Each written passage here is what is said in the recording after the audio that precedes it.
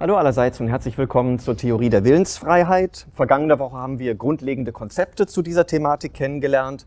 Wir haben gefragt, was ist überhaupt ein Wille im Unterschied zum Wollen? Gibt es das überhaupt? Braucht man das, um das Problem der Willensfreiheit zu verstehen? Braucht man das, um Ansätze für Lösungen zu formulieren?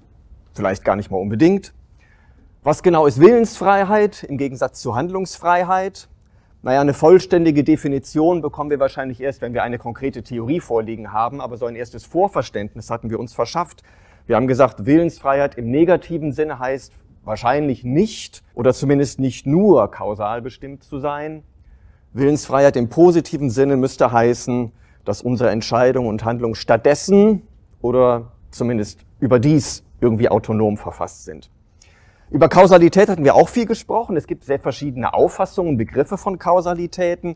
Man kann sie versuchen zu fassen als Regularitäten, als Interventionsmöglichkeiten, als mechanisches Fortschreiten von realen Prozessen oder über kontrafaktische Annahmen zu alternativen Weltverläufen. Wahrscheinlich formulieren all diese Kausalitätsauffassungen ähnliche Herausforderungen für die Willensfreiheit. Und wir hatten gesprochen über verschiedene Formen von Kausalität. Es gibt eben auch indeterministische Kausalität. Es gibt unvorhersagbare Kausalität. Es gibt offene Kausalität. Könnte das für die Willensfreiheit helfen? Vielleicht ja, vielleicht auch eher nicht. Und auch unterschiedliche Positionen zur Freiheitsdebatte waren letzte Woche gelegentlich angeklungen und heute werden wir die wichtigsten Positionen jetzt historisch und systematisch ein bisschen vertiefen. Und die wesentliche Einteilung dieser Positionen verläuft entlang einer ganz schlichten Grundfrage, nämlich die Grundfrage lautet, ist Freiheit mit Kausalität verträglich, ja oder nein? Und wichtig sind dabei zwei Dinge. Erstens, wenn jetzt hier von Freiheit die Rede ist, dann meinen wir wirklich Willensfreiheit, nicht Handlungsfreiheit. Nur bei Willensfreiheit ist diese Vereinbarkeit mit Kausalität ernsthaft umstritten. Bei Handlungsfreiheit ist die Vereinbarkeit mit Kausalität letztlich trivial. Auch wenn die Welt völlig kausal bestimmt ist, einschließlich meines Denkens und Tuns, kann ich manchmal tun, was ich will. Die relevante Frage ist, ob ich auch in dem, was ich will, in irgendeinem gehaltvollen Sinne frei sein kann, wenn alles kausal bestimmt ist, einschließlich meines Denkens und Tuns. Das ist ganz wichtig, denn es gibt viele Autoren, die sagen, ja, wir haben diese Kausalität in der Welt, und deshalb gibt es schon Handlungsfreiheit, aber keine Willensfreiheit. Die werden manchmal als Kompatibilisten eingestuft. Manche verkaufen das sogar als Definition von Kompatibilismus. Aber das ist unglücklich. Das sollte man keinesfalls tun. Solche Leute sollte man lieber als Deterministen einstufen. Ein klassisches Beispiel ist Thomas Hobbes. Bei dem gibt es im Leviathan eine berühmte Passage, da heißt es, Liberty and necessity are consistent. Und deshalb wird Hobbes manchmal wirklich als Stammvater eines klassischen Kompatibilismus bezeichnet. Aber wenn Sie die Passage weiterlesen, merken Sie sofort, mit Liberty meint er nur Handlungsfreiheit. Genauer die Abwesenheit von Hindernissen, also auch sogar nur die negative. Und sogar nur wirklich die Gewalt. Schon Zwang ist bei Hobbes keine Verletzung von Handlungsfreiheit. Jede Idee von Willensfreiheit hält Hobbes ausdrücklich für absurd. Das sagt er wörtlich, das ist absurd. Und zwar, weil alle menschlichen Bestrebungen durch eine ununterbrochene Kette von vorausgehenden Ursachen bestimmt sind. Und schauen Sie, das sollte man wirklich nicht Kompatibilismus nennen. Dass Handlungsfreiheit mit Kausalität verträglich ist, ist wirklich trivial. Wenn das Kompatibilismus wäre, müsste jeder Kompatibilist sein. Und dann wäre das eine sinnlose Einteilung. Es muss darum gehen, ist Willensfreiheit mit Kausalität verträglich. Das ist nicht selbstverständlich. Das ist Kompatibilismus und das bestreitet Hobbes ausdrücklich, wegen der Kausalität. Und deshalb ist Hobbes eben Determinist. Ein zweiter wichtiger Punkt, ob die Kausalität jetzt wirklich deterministisch oder vielleicht indeterministisch ist, ist weitgehend egal. Die wesentlichen philosophischen Probleme und Optionen sind in beiden Fällen letztlich gleich. Wenn Ereignisse vorherbestimmt auseinanderfolgen, dann kann ich inkompatibilistisch meinen, dass das offensichtlich mit Willensfreiheit nicht verträglich ist.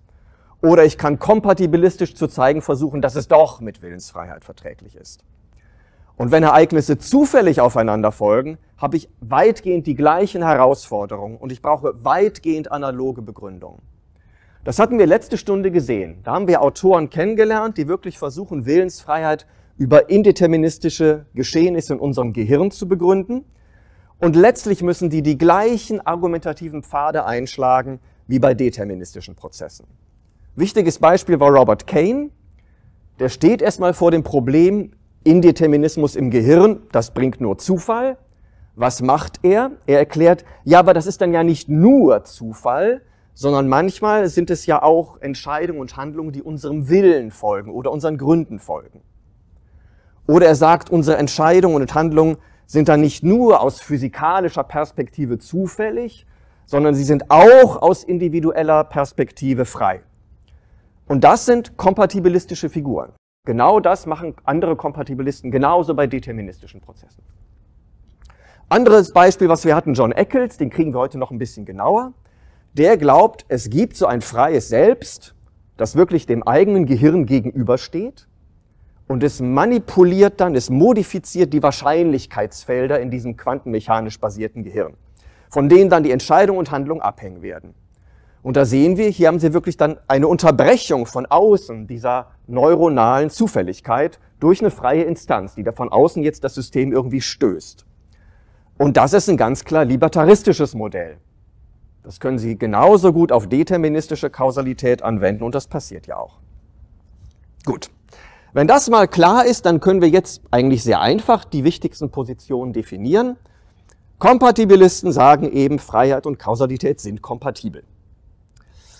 Wenn das die Definition ist, und das ist sie, dann würden dazu auch Positionen gehören, die sagen, ja, die sind kompatibel, also die könnten zusammen auftreten, aber tatsächlich tun sie es nie.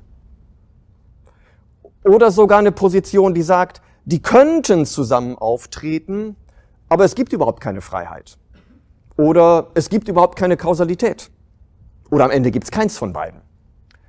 Üblicherweise meinen aber Kompatibilisten, also es gibt schon beides und manchmal treten sie auch zugleich auf.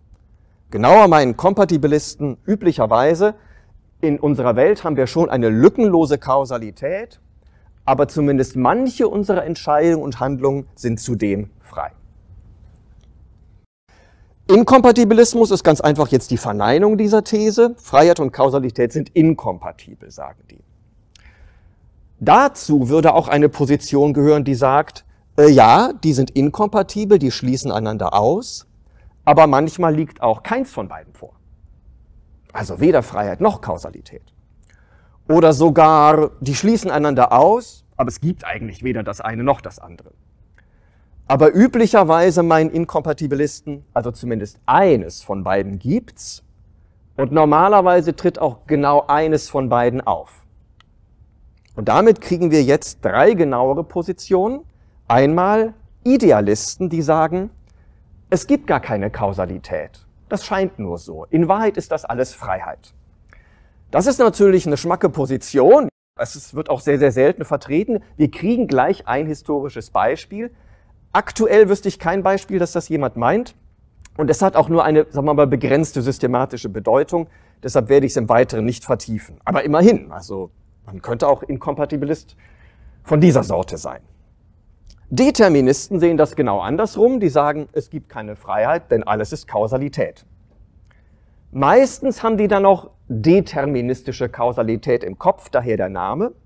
Aber es gibt auch Autoren aus diesem Lager, die sagen, ich weiß, es gibt auch diesen Indeterminismus, ich weiß, es gibt diesen Zufall.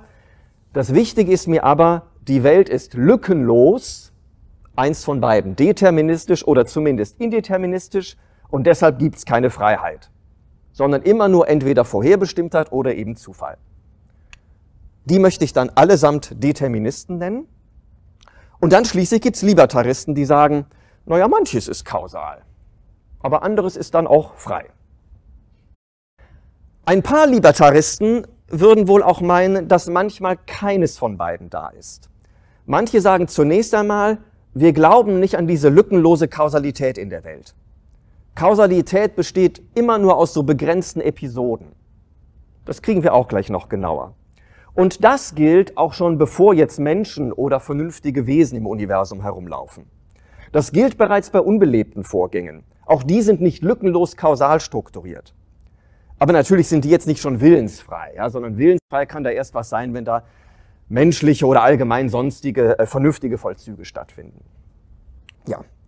Interessant ist bei dieser Aufteilung, erscheint jetzt der Libertarismus als eine Mittelposition. Und Idealismus und Determinismus sind die Extreme. Das ist eine etwas ungewöhnliche Darstellung. Und man könnte sagen, das verschafft den Libertaristen jetzt einen gewissen argumentativen Vorteil. Also Mitte ist ja immer ganz gut, ne? goldene Mitte, es ist ja eigentlich immer ganz schön. Allerdings, wie gesagt, der Idealismus ist auch ziemlich gewagt. In üblichen Darstellungen taucht er gar nicht auf. Und dann bleiben eben Determinismus und Libertarismus als die wesentlichen Varianten des Inkompatibilismus übrig und sind die wesentlichen Antagonisten. Und dann erscheinen diese beiden eher als Extreme und vielleicht ist dann eher der Kompatibilismus so eine goldene Mitte davon. Na schön. Jetzt gehen wir jedenfalls diese vier Positionen ein bisschen genauer miteinander durch. Also, Kompatibilismus. Deren Credo, wie gesagt, ist, also es besteht in dieser realen Welt, in der wir leben, eine lückenlose Kausalität, aber manche Entscheidungen und Handlungen sind zudem frei. Willensfreiheit heißt dann also genauer, dass wir dann nicht nur kausal sind, das wäre dann die negative Freiheit, sondern auch autonom sind, das wäre die positive Freiheit, in irgendeinem genaueren Sinne. Das müssen die dann noch genauer sagen, worin die Autonomie jetzt liegt. Aber so wäre das gebaut. Und ein berühmtes historisches Beispiel dafür ist tatsächlich Kant. Kant wird oft fälschlich eingestuft als Libertarier, ist er aber nicht. Das wird deutlich, wenn Sie ihn genauer lesen, insbesondere wenn Sie dieses Zitat genauer lesen aus der Kritik der reinen Vernunft.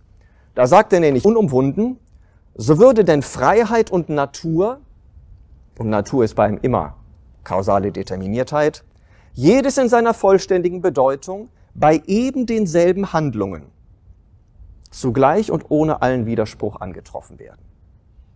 Kompatibilistischer geht's gar nicht. Der Einschub dazwischen, dieses je nachdem, ob man sie mit ihrer intelligiblen oder sensiblen Ursache vergleicht, das ist ein spezieller Perspektivendualismus. Er sagt, Sie können ein und dieselbe Handlung einmal betrachten wie ein Ding an sich selbst und dann dürfen Sie da keine Kausalität annehmen dann haben Sie nur eine intelligible Ursache, bevorzugt das moralische Gesetz. Oder Sie können als Ding in der Erscheinung es betrachten und dann gibt's eben physische Ursachen, psychische Ursachen, insbesondere Neigungen und dann wird es Ihnen als nicht frei erscheinen. Das ist dieser typische kantische Perspektivendualismus und deshalb ist er ein Kompatibilist. Dass er manchmal als Libertarier erscheint, das passiert nur dann, wenn Leute sich andere Zitate rauspicken und nicht diesen Gesamtkontext im Auge haben. Es gibt diese beiden Perspektiven auf ein und dieselbe Handlung. Also da kann ein Psychologe kommen, untersuchen, was sie gemacht haben und er wird psychische Ursachen finden. Und er wird sagen können, das war jetzt aus meiner Perspektive kausal determiniert, aber es gibt eben in der kantischen Erkenntnistheorie diese legitime andere Sicht auf die Dinge, wo wir überhaupt nicht voraussetzen dürfen, dass die Dinge an sich selbst kausal sind. Denn Kausalität ist nach Kant eben eine subjektive Erkenntnisbedingung, mit der wir an die Dinge herantreten. Und deshalb gelten sie von allen Dingen in der Erscheinung, weil sie immer durch diesen Filter quasi zu uns kommen. Wir werden alles als kausal erfahren, genau wie wir alles in Raum und Zeit erfahren werden. Aber dass die Dinge, wie sie an sich selbst sein mögen, unabhängig von unserem Erkenntnisvermögen, auch kausal, räumlich oder zeitlich sind, ist damit nicht bewiesen. Denn in kausalen Termini zu denken, in Ursachen und Wirkung zu denken, ist Bedingung der Möglichkeit dafür, dass Dinge für uns überhaupt zur Erfahrung werden können. Das ist diese transzendentale Figur. Es ist Bedingung der Möglichkeit, dass wir Dinge überhaupt erfahren können. Deshalb gilt es von allen Dingen in der Erfahrung. Ob es von den Dingen, wie sie an sich selbst sein mögen, auch gilt, können wir nicht wissen.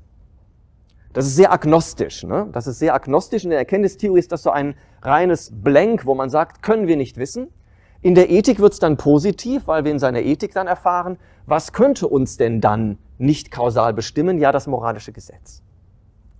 In dem Sinne haben Sie praktisch in seiner Erkenntnistheorie die negative Freiheit. Wir dürfen vom Ding an sich nicht sagen, dass es kausal sei. In der Ethik bekommen Sie die positive Freiheit die Handlung könnte auch durch das moralische Gesetz bestimmt gewesen sein. Deshalb eine Variante von Kompatibilismus. Könnte man ein ganzes Seminar zu machen. Machen wir aber nicht. Aber es gibt viele Kompatibilisten, die jetzt nicht alle Kantianer sind. Also die bauen das teilweise natürlich ganz, ganz anders.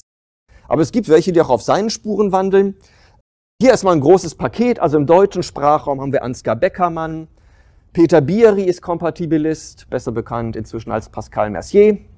Nachzug nach Lissabon geschrieben. Jürgen Habermas ist erklärter Kompatibilist. Michael Paun. Ulrich Potthast hier aus Hannover der eigentlich einer der frühesten deutschen Philosophen war, der sich schon in den 80ern wieder für Willensfreiheit interessiert hat. Wolfgang Spohn, Ernst Tugendhat, Henrik Walter und auch international viele, viele Kompatibilisten. Daniel Dennett gehört dazu, John Fisher, Fisher auch zusammen mit seinem Co-Autor Mark Ravitzer, Dana Nelkin, Thomas Scanlon, Peter Strawson, Georg Henrik von Wirth oder auch Susan Wolf. Also es gibt viele Kompatibilisten und Kompatibilistinnen. Inkompatibilismus Variante 1, Idealisten. Deren Credo ist ja, es gibt eigentlich gar keine Kausalität. Alles ist Freiheit. Was um Gottes Willen haben die im Kopf? Wessen Freiheit ist das? Nun, zunächst einmal natürlich, es könnte göttliche Freiheit sein. Also hinter all dieser scheinbaren Naturnotwendigkeit könnte eigentlich Gottes wahre Freiheit stecken. Und manchmal gehen sie auch so weit zu sagen, es könnte sogar eine menschliche Freiheit sein, wenn wir sagen, eigentlich ist alles außerhalb von uns eine souveräne Sitzung eines freien Ichs. Das ist spekulativ, das kann ich Ihnen jetzt nicht so ausführlich erklären.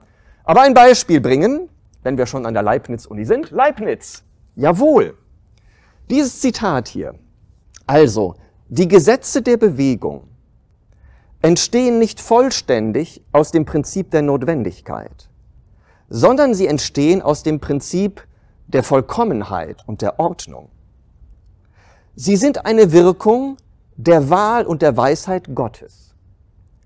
Diese wunderschönen Gesetze sind ein hervorragender Beweis für ein intelligentes und freies Wesen. Ganz entgegen dem System der Notwendigkeit, einer absoluten und brutalen Notwendigkeit, wie wir es bei Straton, das war ein antiker Philosoph, oder auch bei Spinoza finden gewagte These. Das gibt es so auch bei George Berkeley, auch ein großer ähm, Idealist, der eben auch sagte, hinter all dieser scheinbaren Naturnotwendigkeit, das ist alles Gottes Freiheit in Wahrheit. Auch Schelling hat darauf zurückgegriffen. Und bei Fichte ist es dann sogar das Ich. Bei Fichte setzt das Ich das Nicht-Ich. Und in diesem Setzungsakt ist das Ich absolut frei. Okay. Deterministen, jetzt kommt die schwarze Seite, Genau das gegenteilige Credo, es gibt keine Freiheit, denn alles ist ja komplett kausal. Bevorzugt deterministisch, äh, aber vielleicht auch indeterministisch. Moderne würden auch sagen, das ist mir auch egal. Ähm, diese Kausalität mag jetzt bestehen in, ja, manchmal haben die im Blick, dass durch den gesamten Weltverlauf so eine generelle Notwendigkeit durchgeht. Eine natürliche, eine göttliche Notwendigkeit, eine physikalische, eine kosmologische Notwendigkeit. Manchmal schauen sie mehr auf so einzelnes menschliches Tun und wie das jetzt genauer verursacht wird. Also pochen darauf, da sind psychische Kausalitäten drin, soziale, genetische oder neuronale. Da ist jetzt ein schönes Beispiel, ja, wirklich Thomas Hobbes. Und schauen Sie, was er hier sagt. Sollte irgendjemand mir was erzählen von einem runden Quadrat oder Akzidenzien von Brot in Käse oder immateriellen Substanzen oder einem freien Subjekt oder einem freien Willen oder irgendein frei, außerdem frei von Gegenwehr, von Behinderung, also Handlungsfreiheit. Dann würde ich nicht behaupten, dass diese Person sich irrt, sondern ich würde sagen, dass ihre Worte ohne Bedeutung sind, nämlich absurd. Okay, klares Statement. Und davon gab es schon damals einige Leute, also schon in der frühen Neuzeit einige. Dole Bach gehört dazu, David Hume auch in diese Richtung, Joseph Priestley, Spinoza, auf den Leibniz da vorhin gehauen hat. Auch Voltaire ist ein Determinist, glaubt nicht an die Willensfreiheit. Und im moderneren Bereich Leute wie Richard Double, Ted Hondridge, Dirk Perrebohm, Galen Strawson, der Sohn von Peter Strawson, oder auch Daniel Wegner. Also klares Statement, wie das hier laufen soll oder nicht laufen soll. Und drittens, dann gibt es jetzt den Libertarismus und dessen Credo ist eben, manches ist kausal, aber anderes ist vielleicht doch frei. Ähm, denn, was haben die im Hintergrund? Zunächst einmal, was die gerne machen, ist, die sagen, diese komplette Idee, dass es da eine lückenlose Kausalität geben sollte, ist eine sehr metaphysische Idee und überaus fragwürdig. Und dann können in den kausalen Unterbrechungen, die die Weltordnung offenbar lässt, freie Instanzen wirken. So. Das glauben zum Beispiel jetzt äh, in modernerer Zeit Leute wie John Dupree, Gerd Keil aus Deutschland, auch Julian Niederrümelin oder Patrick Suppes. Und ähm, gerade dieser erste Punkt, also dieser Gedanke, dass durch die ganze Welt so ein komplettes, kausales, ununterbrochenes Netz geht von Ursachen und Wirkung, dass das eigentlich eine sehr metaphysische Auffassung sei und dass die sehr ähm, fragwürdig sei, die teile ich jetzt nicht, ja. Aber ich möchte diese Auffassung mal stark machen an einem Beispiel. Ich werde jetzt mal in deren Rolle schlüpfen und mal schauen, wie das wirkt. Also passen Sie auf. Ich war gestern am Strand. Ich habe dann immer einen Schmalzkuchen dabei als Wegzehrung und den wollte ich gerade zum Munde führen und da fiel er mir hinab Richtung Sand. Und natürlich befiel mich sofort tiefer Gram und mein einziger Trost war, dass das Geschehen ab dann doch bestimmt vollständig der Kausalität unterlag. Deshalb mochte ich es bedauern, aber ich konnte es doch wohl immerhin begreifen. Das ist ja der Hauptzug der Conditio Humana. Es läuft immer was schief, aber wir können es zumindest kapieren. Und äh, deshalb lief ich sofort zu verschiedenen Naturwissenschaftlern, die mir eine kausale Analyse von dem Vorgang machen sollten, also nach dem Fallenlassen. Vor allen Dingen wollte ich eine Antwort von denen haben, wo und wann bitte ist der Schmalzkuchen gelandet? Und als erstes gehe ich natürlich zu einem Physiker. Und ich erzähle ihm von dem Strand und dem Schmalzkuchen. Er fragt so ein bisschen genauer nach, also was war jetzt die Fallhöhe? Und dann rechnet er los. Erdanziehung, Luftwiderstand berechnet er auch mit ein. Und dann sagt er also ziemlich präzise, nach 0,7 Sekunden ist es direkt unter dir gelandet.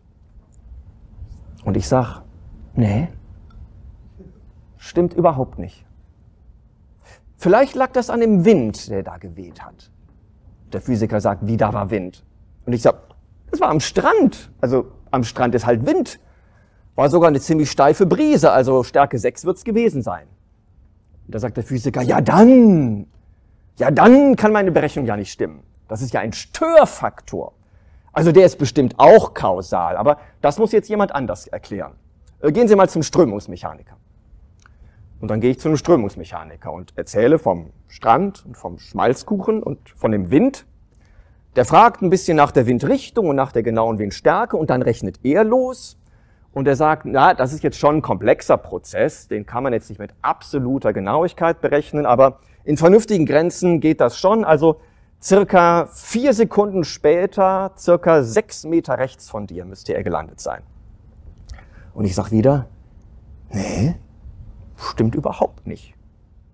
Vielleicht lag das an der Möwe, die den Kuchen aufgepickt hat. Und er sagt, wieder war eine Möwe. Ja, ich war halt am Strand, also da sind Möwen und da war eine große Kolonie, ungefähr 100 Stück, denke ich mal, und eine von denen hat den aufgepickt. Und er sagt, ja dann, ja dann ist meine Rechnung natürlich falsch. Ist ja ein Störfaktor. Also der, der Störfaktor ist bestimmt auch ganz, ganz kausal, aber das muss jemand anders erklären. Geh mal zu einem Ornithologen. Also gehe ich zum Ornithologen und ich erzähle ihm vom Strand, dem Schmalzkuchen und dem Wind und der Möwe. Und der Ornithologe sagt, also um die Jahreszeit hat sie den Kuchen wahrscheinlich in ihr Nest gebracht. Und ich sag, nee, stimmt irgendwie gar nicht. Vielleicht lag das an dem Jäger, der auf die Möwe geschossen hat. Er sagt, da war ein Jäger. Ja, da, da war ein Treffen von der Jägerkameradschaft. Die hatten schon ziemlich einen im Tee und die haben da wie wild rumgeballert. Und sagt der Ornithologe, ja dann, ja dann kann meine Rechnung ja nicht stimmen. Das ist ja ein Störfaktor. Also der ist bestimmt auch total kausal, dieser Störfaktor, aber das muss jetzt jemand anders erklären. Gehen Sie mal zum Sozialpsychologen. Und dann renne ich zum Sozialpsychologen. Ich suche mir sogar einen Spezialisten für, für Burschenschaften und anderes schießendes Volk. Und ich erzähle ihm vom Strand und vom Schmalzkuchen und vom Wind und der Möwe und dem Jäger. Und er überlegt und sagt, naja, unter den Bedingungen hatte die wahrscheinlich noch im Anflug abgeschossen. Und ich sage, nee, stimmt gar nicht. Vielleicht liegt es daran, dass ich dem Jäger das Bein weggezogen habe. Was haben Sie gemacht? Ja, ich, ich bin halt Vogelfreund, ja, und das fand ich nicht gut, also habe ich ihm die Beine weggetreten. Ja, dann, sagt er. Ja, dann kann meine Vorhersage ja nicht stimmen. Das ist ja ein Störfaktor. Also der ist bestimmt auch kausal, aber das muss jetzt jemand anderes klären. Okay, ich glaube, die Botschaft ist da. Leute wie Dupree oder Kyle würde sagen, das hört nie auf. Diese Analyse ist nicht abschließbar. Und diese Rede von Störfaktoren, die immerfort dazwischenkommen und angeblich doch ganz bestimmt wieder kausal sind, ist letztlich beschönigend. Das ist beschwörend, das ist unfundiert, das ist falsch. Das denken die sich nicht nur so aus. Diese Kritik hat einen bestimmten wissenschaftstheoretischen Background. John Dupree und auch Patrick Suppes gehören zur Stanford-Schule. Und diese Schule ist stark gegen reduktionistische Ideale einer einheitlichen Naturwissenschaft eingestellt. Nancy Cartwright gehört dazu oder auch Ian Hacking. Nancy Cartwright hat ein Buch geschrieben, How the Laws of Physics Lie, also wie die Naturgesetze lügen. Und die wesentliche Botschaft ist, es gibt natürlich Naturgesetze, aber das sind immer sehr komplexe und eigentlich lokale Gesetze. Es gibt nicht einfache und globale Naturgesetze, aus denen wir dann alles irgendwie zusammenmischen können. Gerd Keil hat einen Aufsatz geschrieben, in Anspielung darauf, How the Ceteris Paribus Laws of Physics Lie. Und darin schreibt er, dieser übliche Glaube an eine ununterbrochene Kausalität, die angeblich die ganze Welt beherrscht, und letztlich auch sämtliche Störfaktoren bestimmt, ist unberechtigt. Das ist ein Irrglaube an das, was er eine Laplace-Welt nennt, weil Pierre Laplace eben auch dieses Bild im Kopf hatte. Der Gedanke dieser Leute ist, wenn wir genau hinschauen, was Naturwissenschaften erforschen und beschreiben, sind immer nur kausale Episoden. Das sind begrenzte Ursache-Wirkungszusammenhänge, die unter idealen Laborbedingungen präpariert werden. Der Physiker hat seine perfekt abgeschirmte Vakuumröhre. Der Strömungsmechaniker hat seinen perfekt abgeschirmten Windkanal. Der Ornithologe untersucht Population von Vögeln außerhalb Extremsituationen. Der Sozialpsychologe untersucht Individuen und Kollektive unter Normalbedingungen. Und auf dieser Grundlage formulieren diese Natur- oder auch Sozialwissenschaftler ihre Naturgesetze. Und sie präsentieren sie uns als Ceteris Paribus Gesetze. Das heißt als Gesetze, die gelten sollen, wenn alle anderen Bedingungen konstant gehalten werden. Das ist ein Ceteris Paribus Bedingung. Wenn alle etwaigen Störfaktoren bewusst ausgeschaltet werden. Denn die wissen natürlich alle, dass die reale Welt ganz anders beschaffen ist. Die wissen, dass ihre Gesetze nur unter Idealbedingungen gelten. Aber zugleich suggerieren sie mit dieser Darstellung, dass dieses andere in der realen Welt doch etwas ganz Nachrangiges ist. Das heißt, sie wollen uns glauben machen, mit diesen Ceteris Paribus Gesetzen hätten sie sowohl die wahren Gesetze der Natur gefunden. Was davon abweicht, sind jetzt nur so marginale Störfaktoren, die ihrerseits natürlich auch wieder kausal geordnet seien, und zwar durch die gleichen idealen Naturgesetze, die sie uns bereits präsentiert haben. Also durch die gesamte reale Welt ziehe sich ein einziges kausales Gewebe, dessen Bestandteile allesamt ganz einfachen Naturgesetzen folgen, ganz einfachen Gleichungen. Diesen einfachen Ursache-Wirkungsbeziehungen, die sie im Labor erforschen und die in ihrem jeweiligen realen Zusammenspiel dann nur sehr vertrackt kombiniert sind, sodass wir sie im Einzelfall vielleicht nicht aufgeschlüsselt bekommen. Und Kyle oder Dupree würden sagen, das ist durch nichts gestützt. Was die Naturwissenschaften als kausal beschaffen auszeichnen und unter Naturgesetze bringen können, sind immer nur diese präparierten Episoden unter idealen Bedingungen. Die finden sich in der realen Welt fast nie, wie dieses Beispiel hier zeigt. Und dass die angeblichen Störungen selbst wieder solchen Naturgesetzen unterliegen sollen, ist völlig spekulativ, weil nicht abschließend zu belegen. Wie das Beispiel zeigt, wo wir am Schluss ohne kausale Erklärung, ohne korrekte Vorhersage geblieben sind. Ich habe die Möwe nämlich erwürgt und habe den Schmalzkuchen natürlich selbst gegessen. Ich bin ja nicht blöd. So. Und Dupré und Kall würden sagen, damit ist Platz in der Welt für freie Entscheidungen und Handlungen. Und die häufige Rede von Kausallücken, die in der kausalen Struktur der Welt bestehen und dann Raum für freie Handlungen lassen, die ist eigentlich noch zu zurückhaltend. Diese Rede von Lücken suggeriert, dass die Kausalität der Normalfall ist und die Freiheit eine Ausnahme, die sie irgendwie so dazwischen drängen muss. Tatsächlich aber, sagen diese Leute, ist die Welt kein kausales Netz, das weitgehend dicht und nur gelegentlich unterbrochen wäre. Insbesondere ist nicht alles eine Wirkung von Vorhergehendem. Das gilt nur für ideal präparierte Abläufe unter Laborbedingungen. Es gilt nicht für die reale Welt hier draußen. Und damit haben wir eben Raum für menschliche Freiheit. Und zwar viel Raum, würden Sie sagen, viel Raum. Diese Freiheit kann jetzt Ursache von Folgendem werden, ohne selbst Wirkung von Vorhergehendem zu sein. Das ist immer die Formel, auf die es dann eigentlich ankommt. Okay, so. Einige runzeln die Stirn, andere lachen hier, äh, wie auch immer. Ich runzle auch eher die Stirn. Also ich glaube, im, im Ansatz haben die natürlich recht. Die These, dass die Welt lückenlos kausal ist, lässt sich nicht streng beweisen. Das ist eine metaphysische These, ja. Das liegt letztlich am Induktionsproblem. Das ist ein Schluss von einzelnen Beobachtungen, nämlich vielen idealen Experimenten, auf sehr viel Unbeobachtetes, nämlich die gesamte reale Welt. Und klar, wir wissen, dieser Schluss ist nicht streng gültig. Nur weil gewisse Experimentalprozesse kausal sind, muss nicht die gesamte Welt kausal sein. Trotzdem könnte man sagen, dieser Schluss hat aber dennoch seine Berechtigung. Zum Beispiel, weil wir ständig erfahren, dass wir diese kausalen Lücken schließen können, wenn wir hinreichend gründlich arbeiten. Dass wir diese Störfaktoren durchaus wieder kausal fassen können, wenn wir auch eine andere Wissenschaft meinetwegen hinzuziehen. Das Argument hat also schon so ein bisschen Eisschollencharakter. Das verlässt sich auf bestehende Unklarheiten, aber es wird mit jedem empirischen Fortschritt auch kleiner. Und ich meine im Ernst, glauben Sie, dass da, dass da keine Kausalität mehr ist? Glauben Sie, dass da an dem Stand eine Lücke war? Aber gut, natürlich muss jetzt ein Libertarismus auch klären, was in diesen kausalen Unterbrechungen jetzt wirken soll. Also welche nicht kausalen, also zweiter Spiegelstrich, ne, welche nicht kausalen Instanzen setzen dort ein? wie groß diese Lücken jetzt auch sein mögen. Was wir bisher haben, ist ja nur eine etwaige Abwesenheit von Kausalität. Also vielleicht eine negative Freiheit.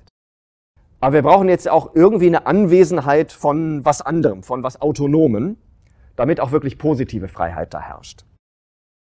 Und wir müssen uns vielleicht auch fragen, wie interagieren jetzt diese nicht kausalen Instanzen mit der kausalen Realität? Also wie funktioniert das jetzt? Also wo ist die Schnittstelle? an der diese nicht kausalen, das heißt jetzt nicht selbst verursachten Entitäten oder Prozesse mit der kausalen Welt in Kontakt treten. Das heißt selbst darin wirken. Denn das müssen sie natürlich tun. Immerhin soll diese Freiheit ja zu realen Entscheidungen, Handlungen, zu realen Folgen, Effekten in der realen Welt führen. Ne? Das brauchen wir ja schon. Dazu äußern sich jetzt diese Autoren wie Dupré oder Keil eher wenig. Vielleicht, weil sie die typischen Antworten scheuen. Aber letztlich kommen sie daran nicht vorbei. Ja, letztlich müssen sie den zweiten Spiegelstrich ein bisschen mal mit Schmand füllen.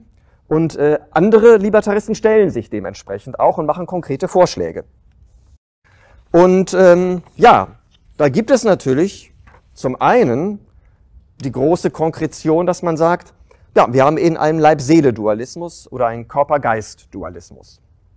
Wie wir das etwa bei Descartes finden, im klassischen Cartesianismus.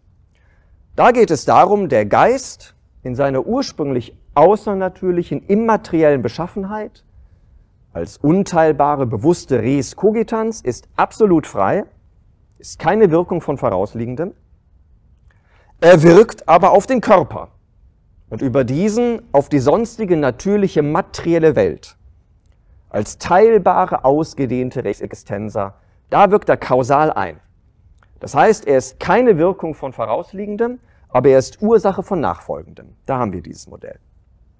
Und auf diese Weise, klar, wird es die gesetzhafte Ordnung der realen Natur durch einen externen Eingriff einer autonomen Instanz durchbrochen, die insbesondere imstande ist, menschliche Entscheidungen und Handlungen zu veranlassen und zu leiten. Und dieses Modell wirft jetzt natürlich die Frage auf, wie soll ich jetzt die Verbindung von dieser psychisch immateriellen und der physisch materiellen Welt genauer mir vorstellen. Und Descartes vermutet, der Kontakt muss über die Zirbeldrüse laufen. Auf die Idee kommt er, weil es da gewisse Eigenheiten in der physiologischen Struktur der Zirbeldrüse oder des Gehirns insgesamt gibt. Und er meint eben, über dieses Hirnorgan ist die Seele jetzt einerseits passiv wahrnehmend, also sensorisch, und andererseits aktiv bewegend, das heißt motorisch mit dem Körper verbunden. Das heißt, grundsätzlich läuft die Verbindung in, natürlich in beide Richtungen, aber vom Körper zum Geist nur mit Blick auf Wahrnehmung und Empfindung, mit Blick auf Willen und Handeln immer vom Geist zum Körper. Naja, das ist eine alte klassische Auffassung, aber das gibt's immer noch. John Eccles, den hatten wir ja schon, der vertritt eben einen modernen dualistischen Interaktionismus und der ist sehr ähnlich aufgebaut und der bekennt sich auch zu Descartes. Er sagt, das immaterielle Selbst ist absolut frei. Es steuert aber kausal das eigene Gehirn. Und hier passiert das eben genauer, indem es diese quantenmechanischen Wahrscheinlichkeitsfelder manipuliert, von denen unser Entscheiden und Handeln abhängt. Also im Hirn ist so eine Unbestimmtheit, das sind Wahrscheinlichkeiten, aber das Selbst schafft es eben, diese Wahrscheinlichkeiten zu manipulieren.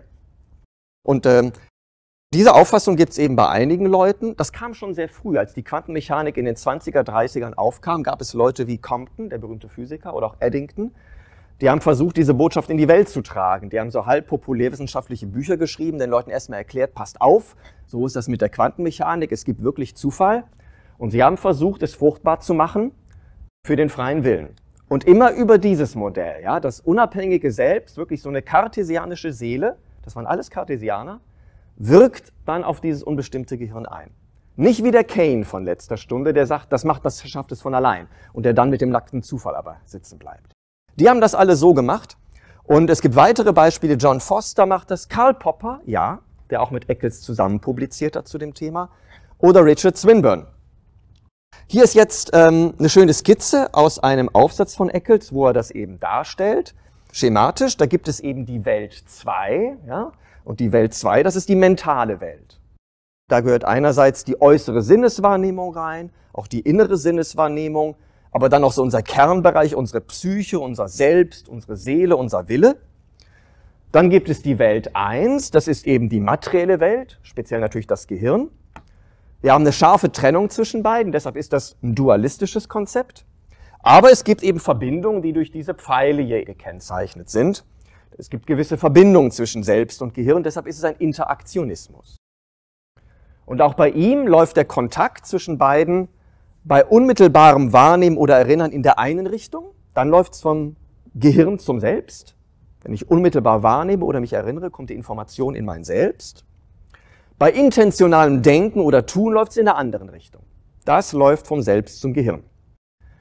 Was ihm als Naturwissenschaftler sehr wichtig ist, da werden keine Erhaltungssätze verletzt, sagt er. Also das versucht er zu begründen. Er meint, die Heisenbergsche Unschärferelation kriegt das hin keine Verletzung von Erhaltungssätzen. Aber Sie haben im Kopf von letzter Stunde, das ist schon ein bisschen gewagt, Wahrscheinlichkeiten manipulieren durch eine nicht materielle Instanz, heißt letztlich durch bloßes Hingucken drehen Sie da Wahrscheinlichkeiten, die eigentlich naturgesetzlich festgelegt sind und wirksam werden sollten. Das ist das Problem, was er sich einhandelt. Es gibt eine zweite äh, Form, das zu konkretisieren. Und äh, das ist Akteurskausalität im Unterschied zur Ereigniskausalität. Da ist die klassische Vorlage Thomas Reed. Und dessen Idee ist, unsere Idee, dass es kausale Ereignisketten gibt, die durch die Welt laufen, beruht eigentlich auf unserer Erfahrung, dass es auch sowas wie kausale Letzturheberschaft geben muss. Also er meint, unser kausales Denken verlangt eigentlich, dass es sowas wie erste Ursachen geben muss. First Cause, sagt er, die nicht mehr Wirkung von Vorausgehendem sind. Für natürliche Begebenheiten ist das natürlich Gott, aber mit Blick auf das eigene Handeln kann das für ihn jeder Mensch sein. So ein Akteur ist die letztgültige Ursache seines Willens, ohne Wirkung vorausgehender Bedingungen zu sein. Insbesondere bin ich auch nicht Wirkung meiner eigenen Motive oder Antriebe. Nicht mal das. Selbst von diesen psychischen Entitäten bin ich da ganz, ganz frei. Ja, gewagte Behauptung, gibt's aber auch immer noch in modernen Varianten. Roderick Chisholm ist da ein Beispiel der sagt, Akteure üben eine Immanent Causation aus. Sie unterliegen nicht der Transient Causation von Ereignissen. Transient Causation heißt, ein Ereignis ist sicherlich die Ursache von einem späteren, aber es ist selbst auch wieder die Wirkung von einem vorhergehenden. Das ist eine durchgehende Kausalität. Akteure haben eine Immanent Causation, das heißt, die sind Ursachen und keine Wirkungen. Die sind unbewegte Beweger. Das Wort benutzt Chisholm. Prime Movers Unmoved. Und klar, auch diese Charakterisierung wird üblicherweise Gott zugeschrieben, aber sie trifft auf jeden Menschen hinsichtlich der eigenen Handlungen zu. Und ähm, ja, was bewirken denn diese Akteure eigentlich? Was ist das erste Ereignis, was ich in Gang setze? Und er sagt, das sind letztlich neuronale Ereignisse im eigenen Gehirn. Das ist ein bisschen erstaunlich. Viele Leute würden sagen, äh, davon merke ich doch gar nichts, dass ich neuronale, haben Sie schon mal gemerkt, dass Sie eine Synapse geschubst haben? Ich nicht. Äh, es gibt Leute, die wissen gar nicht, dass sie ein Gehirn haben oder wofür es gut ist. Die Zahl nimmt sogar immer noch zu. Aber er würde sagen, das macht nichts, man kann es trotzdem verursachen. Ich kann Dinge verursachen, ohne es zu merken. Wenn ich hier mit den Händen wedle, verursache ich auch Verwirbelung von Luftmolekülen und merke das gar nicht und weiß es vielleicht noch nicht einmal. Also das kann schon sein. Ja, und auch davon gibt es einige Leute. Charles Campbell war ein berühmtes Beispiel. Randolph Clark, den wir uns nächste Woche im Seminarteil genauer anschauen werden, gehört dazu. Tim O'Connor, Megan Griffith, Willem Rowe, Richard Taylor machen das alle. Bei diesen Autoren ist es immer ein bisschen unterschiedlich, mit wie viel Nachdruck die das vertreten. Manchmal sind sie sehr affirmativ und sagen, so ist das wirklich. So ein Campbell sagt, so ist das. Manchmal machen die das mehr im Gestus, das lässt sich zumindest nicht logisch widerlegen. Dieser Kausalitätsbegriff ist völlig konsistent. So macht das eher ein O'Connor. Manchmal geschieht es auch mit einiger Zurückhaltung. Dann sagen die, na, das bräuchte man für Willensfreiheit. Es lässt sich auch verständlich machen. Aber ob es wirklich möglich ist, ist zuletzt vielleicht auch eher fragwürdig. So ist ein Clark letztlich drauf. Also der erforscht das mal, der geht dem nach, sagt dann nämlich am Schluss, das ist es. Es gibt auch große Unterschiede, wie die Details dieses Konzepts ausgeformt werden. Zum Beispiel, was ist dieses erste Ereignis, das ein Akteur verursacht? Manche würden sagen, das ist so was, was man in der Handlungstheorie eine Basic Action nennt. Zum Beispiel eine Körperbewegung, ein Armheben. Das ist das erste Ereignis, was ich jetzt auslöse. Manche sagen aber, wie etwa Chisholm, nein, es ist ein neuronales Ereignis. Das ist das erste Ereignis. Das Armheben ist schon eine Folge davon. Ähm, es gibt Unterschiede, wie genau verhält sich diese Akteurskausalität zur Ereigniskausalität. Muss die Akteurskausalität die Ereigniskausalität völlig ersetzen bei willensfreien Handlungen oder wirken die auf eine besondere Weise vielleicht auch zusammen? So wird das bei Clark sein. Das ist ein raffiniertes Zusammenwirken. Oder auch in welchem ereigniskausalen Feld bewegt sich so ein Akteur? Greift er jetzt in deterministische Kausalität ein und ist da die erste Ursache? Oder operiert er auf einer indeterministischen Ereigniskausalität, so wie es dann bei Clark sein wird? Was denen allen gemeinsam ist, die sind alle gegen Cartesianismus. Sie werden vielleicht sagen, ich sehe gar nicht den großen Unterschied. Diese Akteurskausalität, das wirkt auf mich genau wie die kartesianische Seele. Aber die Vertreter würden sagen, nee, das ist was sehr anderes. Denn wir haben keine immaterielle Substanz. Wir haben keine unkörperliche Seele da drin. Unsere Akteure können völlig materielle Wesen sein. Das können biologische Organismen sein. Wichtig ist nur, wir glauben, nicht nur Ereignisse können Ursachen sein und sind dann selbst wieder Wirkungen. Auch Substanzen können Ursachen sein, ohne Wirkungen zu sein. Und Akteure sind Substanzen. Hier ist mal eine Karikatur aus einem Buch von Richard Taylor, der dazu gehört. Die Karikatur ist aber von seinem Lehrer Chisholm. Und darin macht er sich über interaktionistische Modelle aller Eccles lustig, in denen das Selbst sein Gehirn steuert. Und Sie sehen hier, in diesem Gehirn sitzt jetzt so ein kleiner Mensch, der nochmal das eigene Gehirn steuert. Und da sagen ihm Akteurskausalisten, das ist natürlich Unfug. Der Akteur ist nicht ein weiteres Wesen außerhalb meiner biologischen Natur, das in meinem Gehirn an einer Schaltstelle sitzt.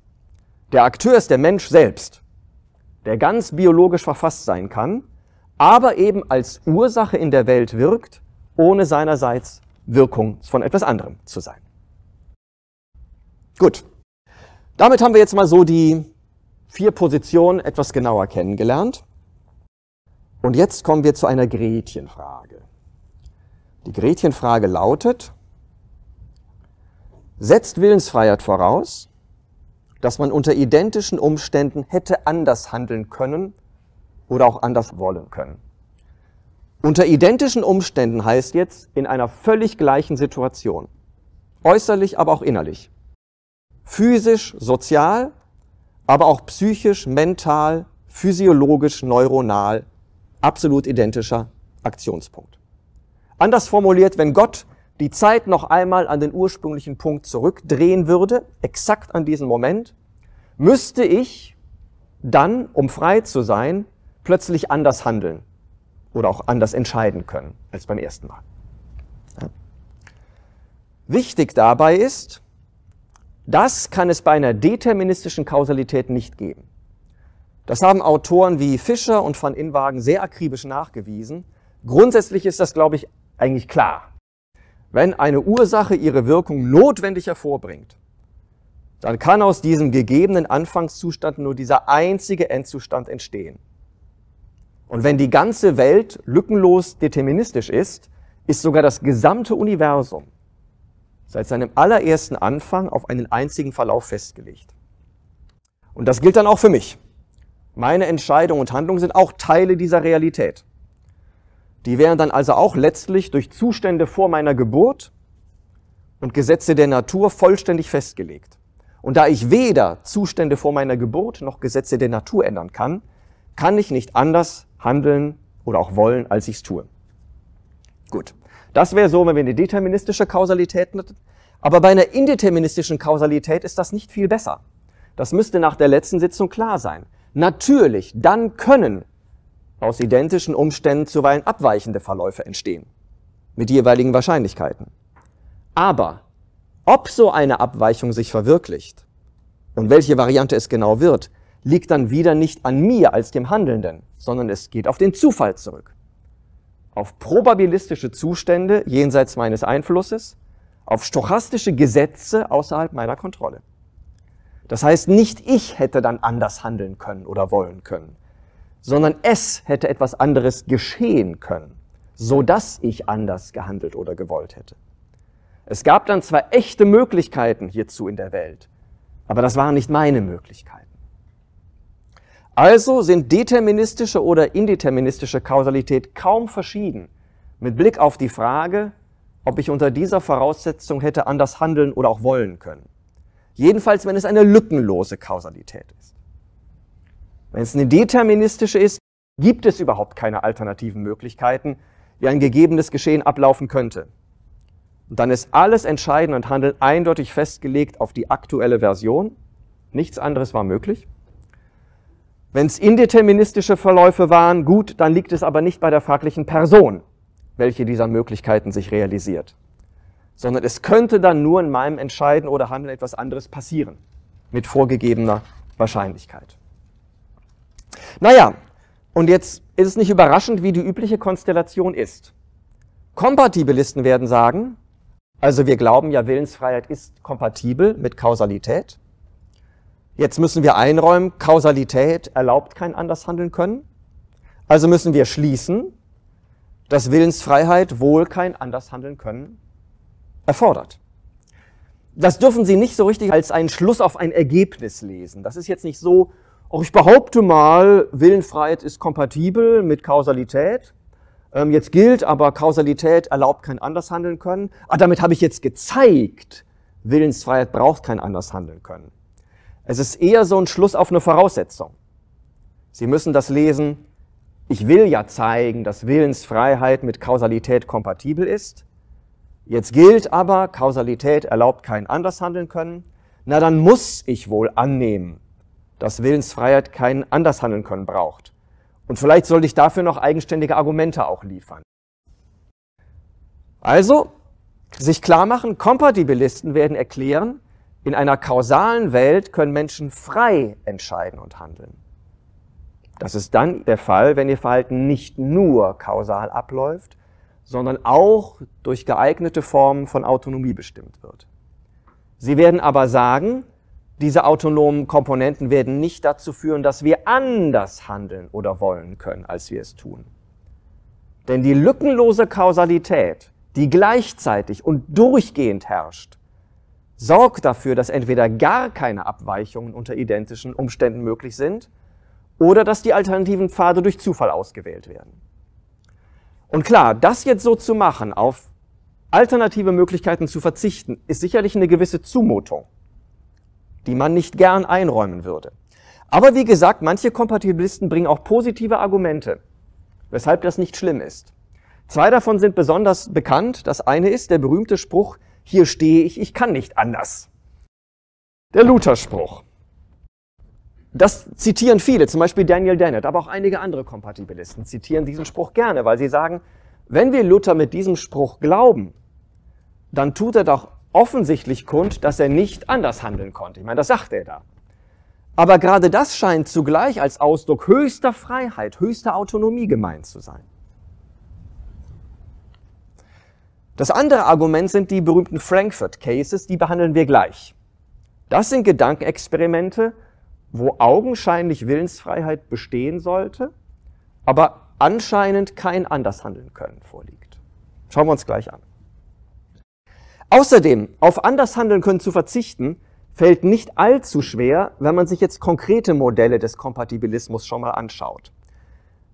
Wenn jemand zum Beispiel sagt, und das machen viele Kompatibilisten, frei bin ich dadurch, dass ich meinen Überlegungen folge oder bestimmten Gründen folge, dann sollte ich ohnehin erwarten, dass ich unter identischen Umständen denselben Überlegungen, denselben Gründen folge. Dass die wieder einschlägig sind und ich schon deshalb genauso handeln würde wie beim ersten Mal. Gerade in dieser Verlässlichkeit, in dieser Konsistenz liegt doch dann meine Freiheit. Alles andere wäre eher bedenklich. Das heißt, wenn ich Kompatibilist bin und Willensfreiheit etwa auf Überlegen oder auf Gründe basiere oder dadurch sogar definiere, dann legt diese Auffassung von Willensfreiheit selbst nahe, dass ich unter identischen Umständen gleiche Entscheidung und Handlung vollziehe. Dann sollte ich schon von daher gar kein Andershandeln können erwarten. Und wenn dann auch noch die Kausalität dafür sorgt, dass wir nicht anders handeln können, ist das kein Problem. Im Gegenteil, das ist wieder ein Fall von Kompatibilität und sogar Kooperation zwischen Freiheit und Kausalität. Wir werden das ja kennenlernen. Inkompatibilisten finden das natürlich doof. Die sehen das genau andersrum. Normalerweise sagen die, Willensfreiheit erfordert natürlich anders handeln können und auch anders wollen können. Jetzt erlaubt Kausalität kein anders handeln können, anders wollen können. Deshalb ist Willensfreiheit offenbar inkompatibel mit Kausalität. Das dürfte schon eher ein Schluss auf ein Ergebnis sein. Also Willensfreiheit erfordert zunächst einmal anders handeln können. Ohne das geht's wirklich nicht. Ja, das ist wirklich dann eine Prämisse. Ist für viele die Voraussetzung in der Debatte. Manche würden sogar sagen, das ist die Definition von Freiheit. Ja, das ist die Definition von Freiheit. Und von hier aus kann ich dann Inkompatibilismus ableiten. Jetzt gilt aber, bei Kausalität haben wir kein anders handeln können. Ja, damit habe ich gezeigt, dass Willensfreiheit und Kausalität unverträglich sind. Das ist der eigentliche Grund dafür. Also lassen Sie sich nicht zu sehr irritieren. Diese beiden Schlussformen hier, der inkompatibilistische Schluss und der kompatibilistische Schluss, sind in logischer Hinsicht genaue Umdrehungen voneinander. Das sieht zunächst ein bisschen komisch aus, dann würde man sagen, dann haben die beiden Lager sich nichts zu sagen. Der eine leitet aus A nicht C ab und der andere leitet aus C nicht A ab. Nur noch auf B können die sich einigen, sonst haben die sich nichts zu sagen. Aber in argumentativer Hinsicht ist das nicht so. Da haben die Schlüsse einen anderen Sinn. Einmal ist das mehr ein Schluss auf eine Voraussetzung, einmal ist das ein Schluss auf ein Ergebnis. Und dann bleibt schon noch Raum, um sich auch fruchtbar zu streiten. Klar, darüber wären sich jetzt Inkompatibilisten einig, über diesen Schluss. Aber auch innerhalb des Inkompatibilismus gibt es natürlich jetzt wieder Streit, denn jetzt ist die Frage, was mache ich daraus? Und Deterministen würden sagen, ja, Brüder, so ist es. Die Welt ist lückenlos kausal. Alles andere ist metaphysische Spinnerei. Und deshalb kann es keine Willensfreiheit geben. Während Libertaristen sagen würden, die Welt ist nicht lückenlos kausal. Dafür gibt es keinen naturwissenschaftlichen Beweis. Die Argumente hatten wir vorhin. Daher kann es Willensfreiheit geben. Und schauen Sie, hier haben wir jetzt diese typische Skylla- und Charybdis-Situation, die ich in der letzten Sitzung angesprochen habe wenn Sie sich für Willensfreiheit aussprechen, also entweder Libertaristin sind oder Kompatibilistin sind, werden Sie immer die Hälfte der Zuschauer gegen sich haben. Wenn Sie Libertaristin sind, wird es heißen, das ist zu stark. Das ist zu metaphysisch aufgeladen. Es soll Unterbrechungen in der Kausalität geben. Das ist hochspekulativ. Und wir wissen ja, was dann kommt. Kartesianische Seele und Akteurskausalität. Vor allen Dingen diesen Ärger werden Sie kriegen von Kompatibilisten und Deterministen. Wenn Sie Kompatibilistin sind, werden alle sagen, es ist zu schwach. Nicht zuletzt ist das ethisch unzureichend. Wir sollen frei und verantwortlich sein, ohne anders handeln zu können. ist doch völlig absurd. Sie können doch nicht Menschen bestrafen, die nicht anders handeln konnten. ist völlig unfair. Den Ärger kriegen Sie dann von Libertaristen und Deterministen. Gut. Jetzt werden wir zwei Autoren kennenlernen, die sich mal ein bisschen genauer mit diesem Andershandeln können befasst haben. Die zwei wesentlichen Texte dazu sollten Sie heute als Vorbereitung lesen und ich gehe sie jetzt noch mal etwas detaillierter durch. Beim ersten geht es vor allen Dingen darum, was heißt anders handeln können eigentlich und ist es wirklich mit Kausalität unverträglich? Also da wäre die Frage, stimmt denn diese These B eigentlich? Ja, stimmt das wirklich? Beim zweiten geht es mir darum, ob man dieses Andershandeln können für Willensfreiheit wirklich braucht. Oder ob nicht die Kompatibilisten völlig recht haben, wenn sie These C ablehnen. Also, Nummer eins, das ist George Edward Moore. Falls Ihnen der Name bekannt vorkommt, aus der Grundvorlesung Praktische Philosophie, das ist der mit dem naturalistischen Fehlschluss. Aber es ist auch der mit der konditionalen Analyse. Und äh, die Idee ist folgende. Er sagt, ich glaube, anders handeln können oder auch anders wollen können, ist notwendig für Willensfreiheit. Zwei Ausrufezeichen, er ist Kompatibilist, das glauben die meisten ja ausdrücklich nicht. Er glaubt's aber schon. Er sagt dann aber, anders handeln können und anders wollen können, zumindest in einem bestimmten Sinne, kann es auch bei Kausalität geben, auch bei Determiniertheit. Und dieser bestimmte Sinn, das ist dann die konditionale Analyse, die wir gleich kennenlernen werden. Und er sagt, deshalb kann ich Kompatibilist sein. Denn sogar das Andershandeln können ist kompatibel mit Kausalität.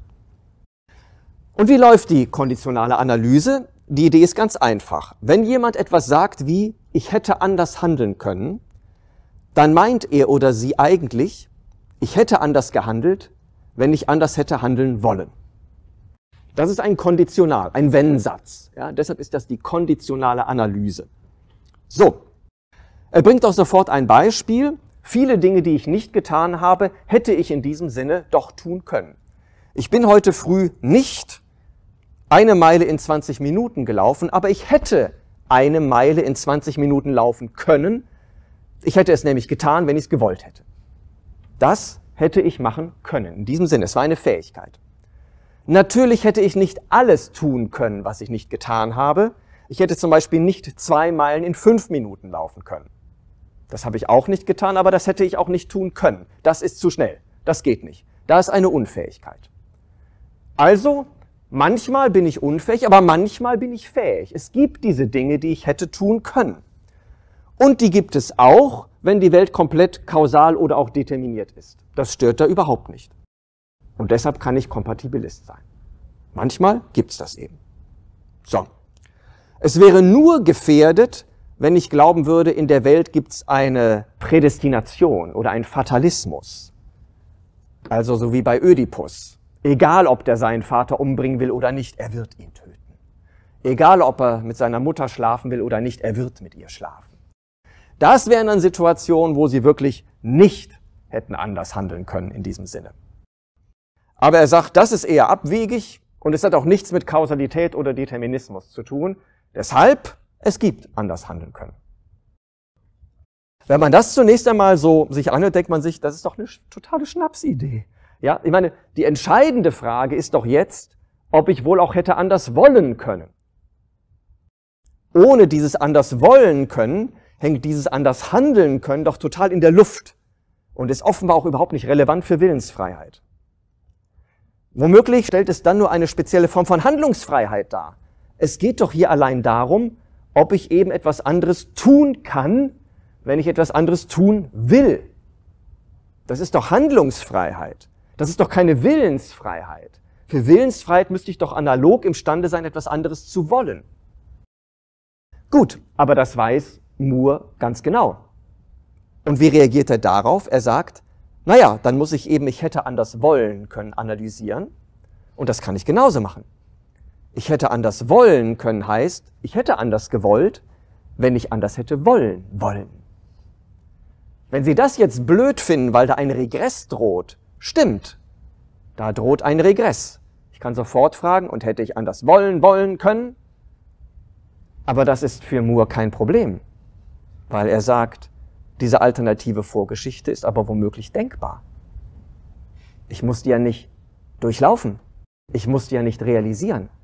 Aber wenn diese komplette alternative Vorgeschichte denkbar ist, dann hätte ich anders handeln können, weil ich hätte anders wollen können und auch wollen wollen können.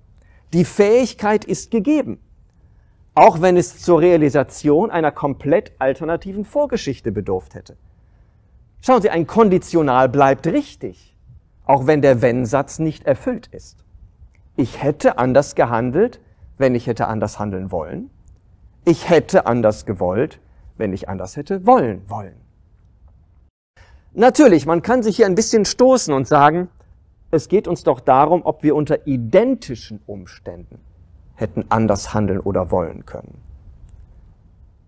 Und jetzt habe ich aber doch veränderte Bedingungen. Ich habe doch ein abweichendes Handeln wollen, ein abweichendes Wollen wollen. Das müsste ich dann doch zumindest aus diesen identischen Umständen quasi herausrechnen. Also völlig identisch waren die Umstände offenbar nicht, unter denen ich anders gehandelt, anders gewollt hätte, sondern ich hätte dann anders handeln wollen oder anders wollen wollen. Hierüber würden sich insbesondere Libertaristen wahrscheinlich beschweren, indem sie erklären, mein Freund, das ist kein Andershandeln können unter identischen Umständen. Das ist ein Andershandeln können unter veränderten Umständen vielleicht sogar unter erheblich veränderten Umständen. Du brauchst vielleicht eine komplett andere Weltgeschichte, die davor stattgefunden hat. Das muss sich möglicherweise vor meine Wahlakte, vor meine Existenz erstrecken, diese ganze Veränderung. Aber Moore würde sagen, Leute, es wäre doch auch nicht sinnvoll, wenn ich ernsthaft anders handeln würde, ohne anders handeln zu wollen. Wenn ich ernsthaft anders wollen würde, ohne anders wollen zu wollen. Das würde doch nicht meine Freiheit befördern. Das würde doch eher komplette Unkontrolliertheit bedeuten. Folglich, Leute, es kann beim Andershandeln können nur darum gehen, dass ich jene alternativen Wege bei geeignet veränderten Bedingungen beschritten hätte. Etwa bei anders handeln wollen oder anders wollen wollen. Damit kann ich aber immer noch behaupten, dass ich unter ansonsten identischen Umständen anders gehandelt oder gewollt hätte.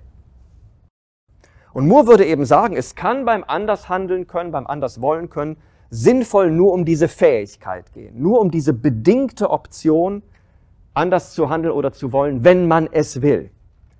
Das würde er sagen, ist die korrekte Analyse von ich hätte anders handeln können. Das ist der eigentliche Sinn von ich hätte anders wollen können. Eine solche kontrafaktische Aussage, ne, dieses hätte, dieses ich hätte, ein solcher Irreales, dieses ich hätte, ist letztlich immer so gemeint. Da ist immer ein entsprechendes Konditional, ein geeigneter Wenn-Satz impliziert. Würde Moore sagen. Aber damit sind viele Autoren nicht einverstanden. Und man muss sagen, eigentlich glaubt da heutzutage fast niemand mehr dran. Und selbst wenn wir bereit sind, diese veränderten Bedingungen, also dieses anders handeln wollen, dieses anders wollen wollen, als identische Umstände gelten zu lassen, im Sinne des Erfinders. Selbst dann würden viele sagen, geht diese Analyse an dem vorbei, was wir eigentlich mit anders handeln können und anders wollen können meinen. Der erste Einwand lautet, wenn ich wirklich von anders handeln oder anders wollen können spreche, dann verlangt das nicht bloße Denkbarkeit, sondern ich brauche eine echte Möglichkeit dieser Bedingungen, die da im Konditional stehen. Schon für einen ganz basalen Begriff von anders handeln können oder anders wollen können, brauche ich wirklich das. Und wenn ich de facto nicht hätte anders wollen können oder wollen wollen können, dann hätte ich tatsächlich nicht anders handeln können oder wollen können. Und so wäre das eben, wenn ich einen lückenlos kausalen, deterministischen Weltverlauf hätte, dann wären diese Vorausbedingungen nicht erfüllbar gewesen. Ich hätte nicht anders wollen können, denn es war eben nicht möglich. Der zweite Einwand ist, wenn ich von anders handeln können oder anders wollen können spreche, kann ich auch nicht irgendwelche fremden Möglichkeiten meinen, sondern es muss wirklich um meine eigenen Möglichkeiten gehen. Es geht darum, ob diese Bedingungen für mich zugänglich waren. Das ist ein sicherlich anspruchsvollerer Sinn von anders handeln können, anders wollen können, aber er ist sicherlich auch in diesen Begriffen meistens mit gemeint. Wenn nicht ich wahr machen kann, dass ich anders will oder wollen will, dann kann auch nicht ich anders handeln oder wollen. Und das wäre jetzt auch ein Problem, wenn ich eine Welt hätte, die wäre lückenlos kausal und vielleicht indeterministisch. Dann hätte da sicherlich was anderes passieren können. Aber nicht ich hätte wirklich anders gekonnt, sondern es wäre etwas anderes geschehen. Das heißt, Wahrscheinlich haben wir kein anders handeln können oder anders wollen können. Bei Determiniertheit und bei Indeterminiertheit auch nicht. Und das Problem wäre, Moore hat einen zu weiten Begriff hiervon. Insbesondere die Komponente können fasst er zu locker auf. Das ist zu wenig streng. Das ist zu locker für ein echtes Können. Die Fähigkeit war vielleicht gegeben. Von meiner psychischen und körperlichen Ausstattung, von meinen sozialen und physischen Gegebenheiten her war ich imstande zum Andershandeln oder anders wollen. Wenn ich anders hätte handeln wollen oder anders hätte wollen wollen, dann hätte ich anders gehandelt oder anders gewollt. Aber das ist zu wenig für Können. Können meint immer echte eigene Möglichkeit. Und wenn die Welt lückenlos determiniert ist oder auch lückenlos zufällig ist, dann konnte ich nicht anders handeln bzw. wollen. Denn diese alternativen Optionen konnten sich nicht verwirklichen oder zumindest konnte ich sie nicht verwirklichen. Das haben viele Autoren sehr deutlich rausgearbeitet. Einer der ersten war vielleicht John Austin 1956 in einem berühmten Aufsatz mit dem Titel Ifs and Cans, also über Wenn und Aber, so ungefähr. Und er sagt eben, Moores Analyse ist wirklich semantisch falsch. Und Austin ist ein ziemlich guter analytischer Philosoph. Er sagt, ich hätte anders handeln können, oder wollen können, verweist nicht auf ein implizites Konditional. Da ist kein versteckter Wenn-Satz, der dann vielleicht gar nicht erfüllbar war oder zumindest von mir nicht erfüllbar war. Wir benutzen hier vielleicht den Irreales. Wir sagen, ich hätte anders handeln können. Wir räumen also ein, dass irgendwas nicht wirklich war. Klar. Aber dieser Irreales bezieht sich eben auf das Andershandeln, beziehungsweise Anderswollen. Das ist irreal. Das ist eben ausgeblieben. Es bezieht sich aber nicht etwa auf das Können. Es will nicht sagen, dass das Können irreal gewesen wäre. Also sagen Sie nicht, da steht ja nur, ich hätte können, das heißt, ich konnte vielleicht gar nicht wirklich. Das ist nicht in Ordnung. Im Grunde meinen wir mit diesen Sätzen ein Präteritum. Wir meinen, ich konnte anders handeln. Wir meinen reale Möglichkeit, die ich hatte, ohne Wenn und Aber. Insbesondere meint Austin, dass das englische could in I could have acted otherwise tatsächlich gar kein Irreales ist. Austin sagt, das ist ein Präteritum. Das ist ein englisches Präteritum, dieses could. Das ist der häufigste Vorwurf hier, auch der von Austin, dass die konditionale Analyse nicht hinreichend ist für anders handeln können. Die ist zu weit, die reicht nicht. Köln verlangt mehr. Das heißt, auch wenn ich anders gehandelt hätte, falls ich anders gewollt hätte, hätte ich womöglich nicht anders handeln können. Eben bei lückenloser Determiniertheit oder auch lückenlosen Zufall. Denn da konnte ich eben nicht anders wollen und somit auch nicht anders handeln. Austin meint auch, dass sie nicht notwendig ist, diese Analyse. Er sagt, sie ist in einem anderen Sinne sogar auch zu eng. Sie ist nicht erforderlich. Anders handeln können gibt es auch ohne das. Das heißt, manchmal hätte ich vielleicht anders handeln können, auch wenn ich nicht anders gehandelt hätte, wenn ich anders gewollt hätte. Das ist sehr verwirrend und er hatte ein spezielles Beispiel, was aber auch sehr witzig ist. Das ist Austins Putt. Sie spielen Golf. Der Ball liegt ganz kurz vor dem Loch, nur noch 20 Zentimeter. Und sie versuchen einen Putt. Ist wirklich ein lächerlich einfacher Ball.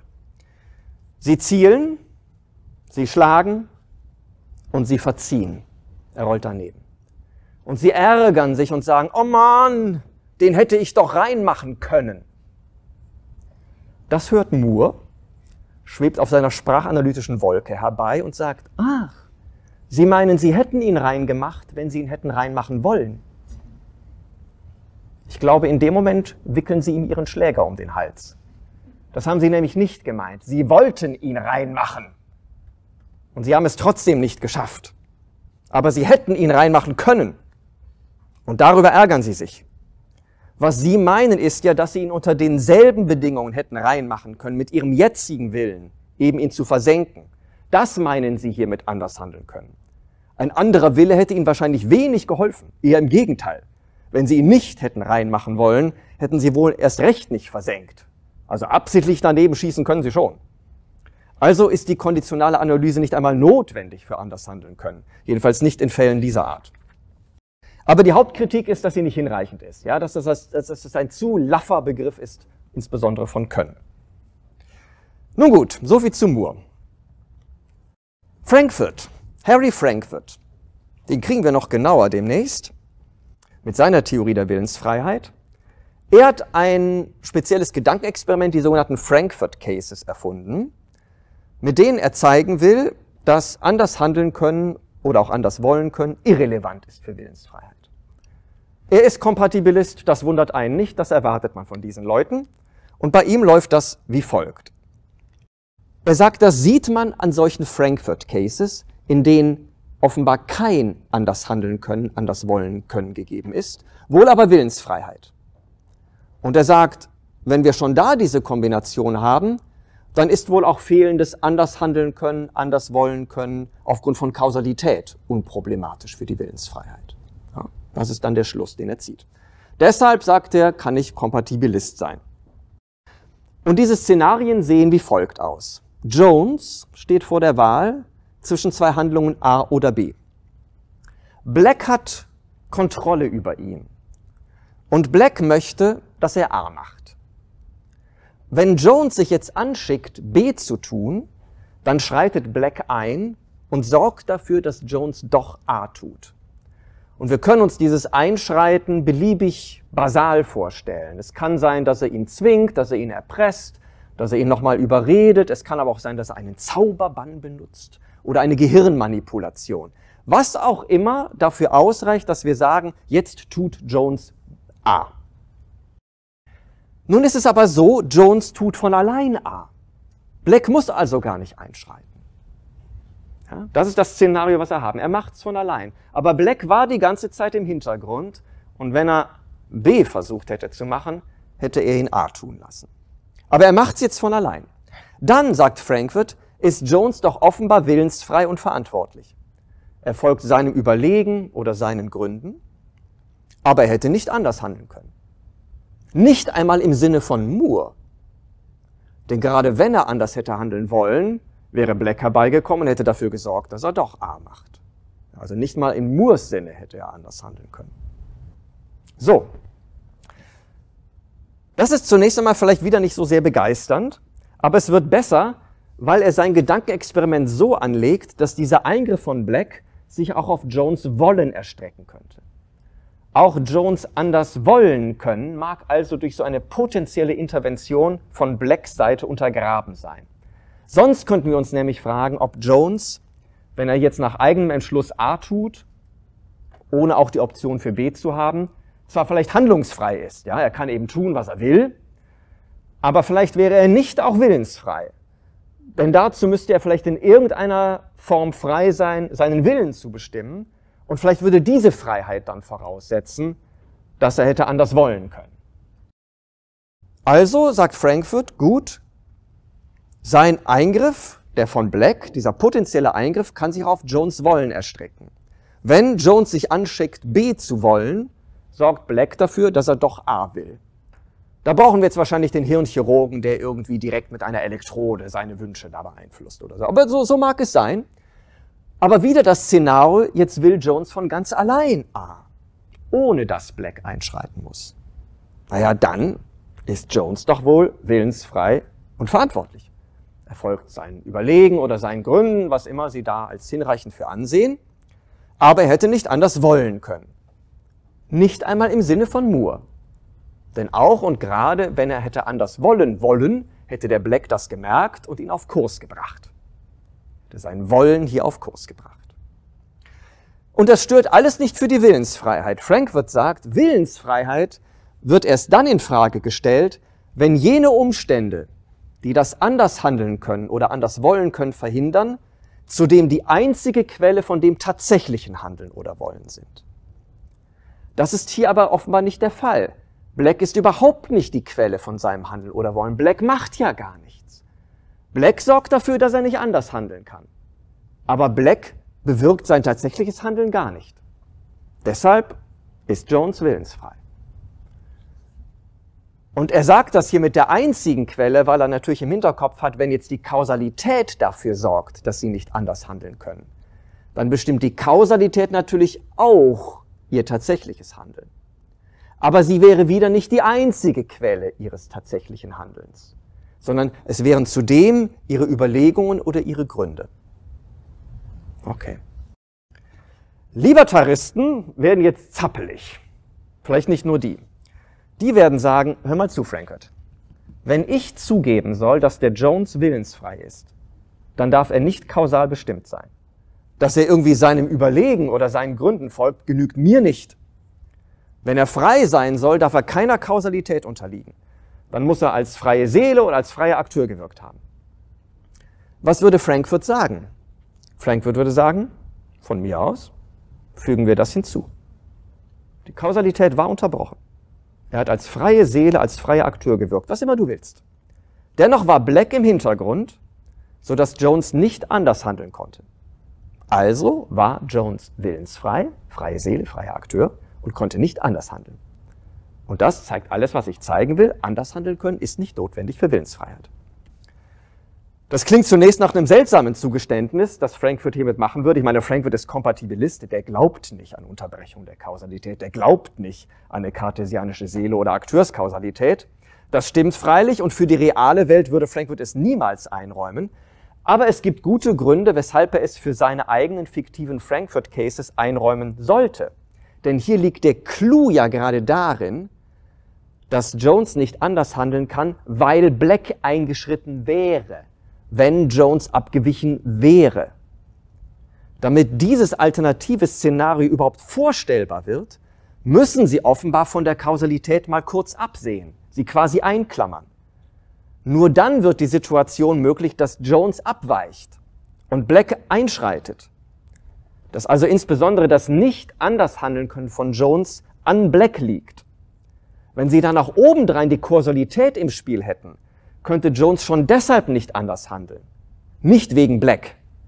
Und das spezielle Argument der Frankfurt Cases würde ihn verpuffen.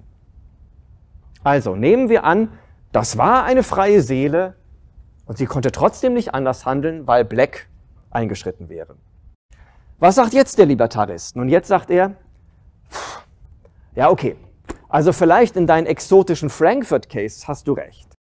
In diesen Fällen gibt es jetzt vielleicht Willensfreiheit ohne anders handeln können. Aber du kannst daraus nicht folgern, dass Kausalität harmlos ist. Denn du hast jetzt gerade angenommen, dass die hier gar nicht greift. Und nur deshalb habe ich zugestimmt, dass Jones willensfrei ist. Frankfurt würde sagen, ja, aber komm, wenn du in meinen Frankfurt Cases zugibst, dass das Andershandeln können nicht wichtig für Willensfreiheit ist, warum hast du dann überhaupt ein Problem mit Kausalität? Üblicherweise stört dich an Kausalität doch, dass sie anders handeln können unmöglich macht. Nur deshalb meinst du doch, Willensfreiheit und Kausalität sind nicht kompatibel. Das hatten wir ein paar Folien weiter vorne. Für Willensfreiheit braucht man anders handeln können, bei Kausalität gibt es kein anders handeln können, deshalb ist Willensfreiheit inkompatibel mit Kausalität. Aber wenn du jetzt in meinen Frankfurt Cases gesehen hast, dass die Prämisse gar nicht stimmt, für Willensfreiheit brauchen wir gar kein anders handeln können, das sehen wir an den Frankfurt Cases. Da ist man frei, ohne anders handeln zu können. Warum dann überhaupt noch diese Angst vor der Kausalität? Entspann dich doch mal. Okay, so ist so ein bisschen der Stand der Dinge zwischen den beiden. Allerdings, auch bei den Frankfurt Cases kann man jetzt zweifeln, ob Jones wirklich nicht anders handeln kann. Wenn man genau hinschaut, mag es sein, dass Jones sehr wohl Alternativen hat. Jedenfalls, wenn wir, wie wir es gerade gemacht haben, die Kausalität einklammern. Also davon ausgehen, dass Jones zumindest minimal abweichen konnte und Black dann entsprechend eingreifen musste. Und hier gibt es zwei Haupteinwände. Der erste ist, wenn der Black da hätte eingreifen müssen, dann muss er einen Anlass dafür gehabt haben. Und dieser Anlass wäre doch wohl gewesen, dass der Jones so ein alternatives Handeln oder Wollen zumindest mal eingeleitet hätte. Er muss ja irgendwie gestartet haben, auf, auf die andere Weiche, auf die andere Schiene sich zu setzen. Das heißt, Jones Handeln oder Wollen hätte sich zumindest am Anfang unterschieden, ganz kurz vielleicht nur. Aber dann wäre es doch auch in der Gesamtsicht ein anderes Handeln oder Wollen gewesen. Da war ein anderer Handlungsentschluss, eine andere Wollensanbahnung, irgendwie ein anderer Versuch, ein anderer Ansatz. Und das reicht doch, um zu sagen, er hätte sehr wohl anders handeln oder wollen können. Sogar in einem sehr anspruchsvollen Sinne dieser Wörter. Das war dann Jones eigene Möglichkeit. Wir, haben das, wir spielen das Spiel, dass er das konnte. Ein bisschen zumindest, mal ganz am Anfang. Der zweite Einwand ist, die bloße Tatsache, dass Black eingeschritten wäre, zeigt doch wohl, dass es ein anderes Handeln oder Wollen von Jones gewesen wäre. Also es ist doch dann irgendwie etwas, was Black herbeigeführt hat, mit seiner Hirnmanipulation. Eigentlich war es doch dann Black, der agiert hat und nicht Jones. Das ist doch was ziemlich anderes, oder? Selbst wenn also diese Indikation für Black, das Signal, das sagt, du musst was tun, der macht sonst B, du musst was tun, bring ihn auf Kurs, wenn diese Indikation vor dem eigentlichen Handeln oder Wollen gelegen hätte, und in einer Fußnote stellt sich das Frankfurt auch so vor. Wenn Sie den Text lesen, merken Sie, in der Fußnote sagt er, das war vielleicht irgendein neuronales Ereignis, was nicht schon zum Handeln selber gehört, sondern davor liegt. Wäre doch das anschließende Handeln oder Wollen immer noch anders gewesen. Denn letztlich hätte da Black agiert. Man sieht es auch daran, in dieser alternativen Version wäre Jones natürlich unfrei gewesen. Also in der Version, wo er allein agiert, da ist er frei. In dem alternativen Szenario, was eingetreten wäre, wäre er natürlich unfrei gewesen, sagt Frankfurt. Das ist doch ein Riesenunterschied offenbar. Das ist doch dann nicht das gleiche Handeln oder Wollen, das ist doch ein Riesenunterschied. Also er hätte sehr wohl anders handeln oder wollen können. Zumindest in einem basalen Sinne dieser Wörter. Es war eine echte Möglichkeit. Da hätte in seinem Gehirn ein Signal anspringen können und dann wäre Black eingeschritten und dann wäre es ja, eine echte Möglichkeit halt immer noch gewesen. Genau, das ist die Hauptkritik, die dann kommt. Und äh, deshalb würden viele sagen, in den Frankfurt Cases habe ich durchaus ein anders handeln oder anders wollen können. Und Frankfurt sieht das nicht, weil er einen viel zu engen Begriff davon hat. Insbesondere sein Begriff von anders ist zu eng. Er sieht nicht ein, dass das auch Veränderungen sind, die wir dann haben. Wie reagieren Kompatibilisten darauf oder Frankfurt-Fans, die sagen, ja, okay, mag sein. Also in einem gewissen Sinne konnte Jones anders handeln oder wollen aber in einem sehr begrenzten Sinne. Nur so ein flüchtiger Entschluss, nur so eine kurze Indikation, bevor ihn Black wieder auf Kurs bringt. Das ist nur ein Flicker of Freedom, heißt es in der Literatur, ein kurzes Aufschimmern von Freiheit. Und das genügt nicht, um darauf jetzt Willensfreiheit oder Verantwortlichkeit zu gründen. Du würdest doch nicht sagen wollen, dass Jones deshalb frei und verantwortlich für sein tatsächliches Handeln und Wollen ist, weil er eine solche winzige Abweichung davon vollziehen konnte, ganz am Anfang. Oder weil es eine flüchtige Alternative dazu geben konnte, die noch nicht mal in seiner Hand lag. Dann wäre er ja offenbar nicht für sein volles Handeln und Wollen verantwortlich, nicht für das, was er tatsächlich tut und erstrebt, sondern nur für diese winzigen Spielräume, diese verschwindenden Komponenten, die hätten anders ausfallen können. Und schau mal, bei Kausalität haben wir nicht mal das. Das heißt, wahrscheinlich werden wir uns damit abfinden müssen, dass es kein anders handeln können gibt. Jedenfalls solange wir nicht auf kausale Lücken hoffen. Und die Frankfurt Cases zeigen uns immerhin, dass es gar nicht so schlimm ist. Sie zeigen uns, dass wir sehr wohl frei sein können, auch wenn wir nicht anders handeln können. Dass man sehr wohl verantwortlich sein kann, wenn man kausal determiniert ist. Und das ist eben Frankfurts Botschaft. Er würde sagen, Vergesst das jetzt bitte mal mit dem anders handeln, anders wollen können, denn das können wir bei Kausalität sowieso nicht haben. Und wir brauchen es nicht für die Willensfreiheit. Das seht ihr an meinen schönen Beispielen. Generell gibt es bei den Kompatibilisten jetzt so zwei Lager, was das anders handeln können, anders wollen können eingeht. Ein Lager meint, ja, wir müssen auf diese alternativen Möglichkeiten verzichten, wenn wir Willensfreiheit mit Kausalität versöhnen wollen. Die konditionale Analyse lehnen sie ab. Sie sagen, das ist unzureichend für Können. Das sind keine echten eigenen Möglichkeiten. Und so ein Können gibt es eben nicht bei lückenloser Kausalität, egal ob deterministisch oder indeterministisch. Also wir haben kein anders handeln können bei Kausalität. Willensfreiheit muss ohne anders handeln können auskommen. Und manche sind dann überzeugt von dieser Botschaft der Frankfurt Cases, die sagen, das hat er schon gut gemacht, daran sehe ich das. Andere ziehen unabhängig den Schluss, dass es wohl ohne anders handeln können gehen muss. Das andere Lager meint, ja, also wir brauchen schon so ein anders handeln können für die Willensfreiheit, zumindest in irgendeinem Sinne. Möglicherweise sind die dann auch nicht so von den Frankfurt Cases überzeugt. Die sagen, da sehe ich sehr wohl ein anders handeln können. Aber zumindest bei lückenlos kausalen Prozessen werden sie sagen, ja, da stimmt's natürlich. Also da gibt's keine echten eigenen Möglichkeiten. Deshalb müssen wir uns mit bescheideneren Formen von Andershandeln können begnügen für die Willensfreiheit. Etwa im Sinne von Moores konditionaler Analyse oder sie machen ähnliche Konstruktionen, die in einem vergleichbaren Geist laufen. Ich würde eher zu ersterem Lager tendieren. Ich würde sagen, dass mit der konditionalen Analyse liefert uns keine echten eigenen Möglichkeiten. Das reicht nicht für anders handeln können. Deshalb würde ich lieber ganz darauf verzichten und sagen, lückenlose kausale Beschaffenheit der Welt erlaubt kein anders handeln können. Aber es ist eine wichtige Frage, wie Sie sich dazu positionieren, speziell zu anders handeln können, anders wollen können. Manche von Ihnen werden sagen, das ist notwendig für Willensfreiheit. Manche werden sagen, das ist geradezu die Bedeutung von Freiheit. Ich meine, schon Handlungsfreiheit heißt, ich kann A oder B tun, je nachdem, was ich will. Und dann heißt Willensfreiheit eben auch, ich kann A oder B tun. Oder auch meinetwegen wollen. Unter identischen Umständen. Dann müssen Sie Inkompatibilistin werden. Dann kriegen Sie sogar ein starkes Andershandeln können. Oder Sie sagen, ich bin Kompatibilistin und sagen, mir, mir reicht dafür aber die konditionale Analyse. Andere von Ihnen werden sagen, nein, das stimmt nicht. Für Willensfreiheit ist allein wichtig, was ich getan oder gewollt habe. Und vielleicht auch, wie ich es getan oder gewollt habe.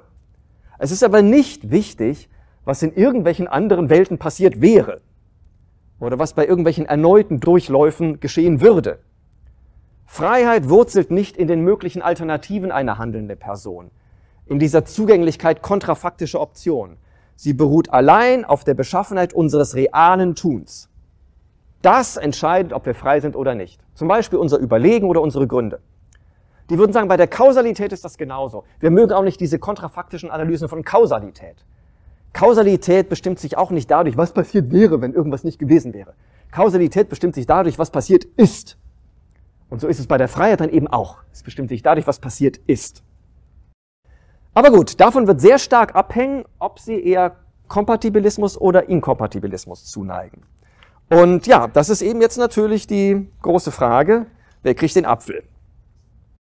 Ähm, Kompatibilismus oder ist Ihnen der zu schwach? Sie kriegen vielleicht kein anders handeln können, kein anders wollen können oder allenfalls in Form der konditionalen Analyse. Das ist ein hoher Preis, gerade in ethischer Hinsicht. Können Sie verantwortlich sein, wenn Sie nicht hätten anders handeln können? Libertarismus? Oder ist uns der zu stark? Der braucht Lücken in der Kausalität, eine kartesianische Seele oder Akteurskausalität. Speziell in metaphysischer Hinsicht sind das schon bedenkliche Auffassungen, das sind ziemlich gewagte Modelle. Man könnte sagen, das widerspricht komplett einem modernen Natur- und Menschenbild. Das widerspricht auch wirklich einzelnen naturwissenschaftlichen und auch sozialwissenschaftlichen Befunden. Determinismus? Ist das die Konsequenz? Das war's? Es gibt keine Willensfreiheit, keine Verantwortlichkeit? Das wäre sicherlich ernüchternd, aber vielleicht ist es eben so. Es kann auch ganz entspannend sein, ja, wenn man nicht ständig sich und anderen Vorwürfe macht. Nicht ständig hat jemand an irgendwas Schuld. Also das entspannt. Ich glaube, manche Leute werden auch Deterministen, weil das einfach entspannt. Es hätte sicherlich empfindliche Auswirkungen auf unser soziales Miteinander. Ne, wenn Sie dann noch strafen wollen, können Sie das nicht mehr retributiv rechtfertigen, weil Sie sagen, da hat jemand Schuld für ein vergangenes Verbrechen. Das, das können Sie knicken. Sie können Strafe nur noch präventiv rechtfertigen, als Verhinderung künftiger Vergehen. Na gut. Darüber hinaus, man muss sagen, Determinismus hat auch so gewisse argumentative Probleme. Irgendwie scheint er sich ein Stück weit selbst zu untergraben. Irgendwie scheint es unstimmig zu sein, für Determinismus zu argumentieren. Schauen Sie, wenn der Determinismus stimmt, dann ist der Determinist selbst nicht frei in seiner Überzeugung. Seine eigene Auffassung ist ein reines Produkt von Vererbung und Umwelt. Wenn der Determinismus stimmt, dann will ein Determinist seine Gegnerin letztlich kausal beeinflussen. Also seine Argumente, seine Diskussionsbeiträge sind letztlich nur so Manipulationen oder so Indoktrinationen. Ein Determinist kann sich in einer Debatte nicht beschweren, wenn er seine Gegnerin nicht überzeugt bekommt. Denn genau diese Uneinsichtigkeit ist nach seiner eigenen Einschätzung rein kausal bestimmt. Wenn er sich da beklagt, wenn er da einen Vorwurf macht, setzt er die Freiheit seiner Gesprächspartnerin voraus. In irgendeinem Sinne. Kompatibilistisch oder libertaristisch. Aber wenn er jede Freiheit verneint, lässt das keinen Vorwurf zu. sondern allenfalls ein Beeinflussungsmanöver in Gestalt eines scheinbaren Vorwurfs. Ja, das, das geht dann noch, aber mehr nicht. Eine Freiheitsbefürworterin könnte jetzt sehr pikiert sagen, wenn das, wenn alles, was wir denken und sagen, rein kausal bestimmt ist, dann können wir genauso gut aufhören, miteinander zu reden. Richtig aufgefasst meint das nicht, dass es keinen Unterschied in der Welt macht, ob wir reden oder nicht.